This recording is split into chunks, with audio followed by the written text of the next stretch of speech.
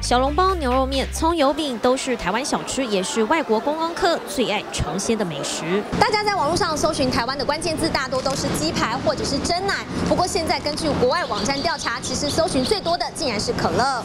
没有听错，就是可乐。每个国家都有令人既定的联想，德国想到啤酒、猪脚，日本就是拉面，而台湾小吃闻名。但是国外网站调查，根据 Google 统计，搜寻台湾关键字最多的不是咸酥鸡、鹅阿珍，竟然是可乐，让民众都很讶异，不敢置信。蛮奇怪的，很怪。对，因为可乐感觉是就是很美式的东西。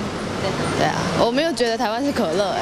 国外网站还调查出，最多人搜寻日本关键字记录不是拉面、药妆、电器用品，而是西瓜，让民众直呼不可能。西瓜？那怎么可能？西瓜是台湾的，不是吗？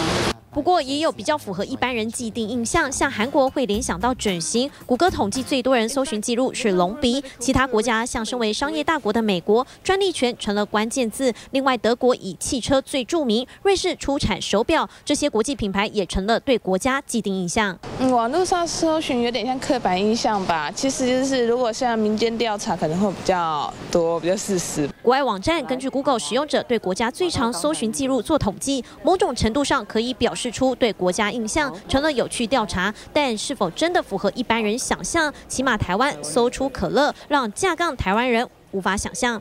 记者陈子芬、邱子玲台北采访报道。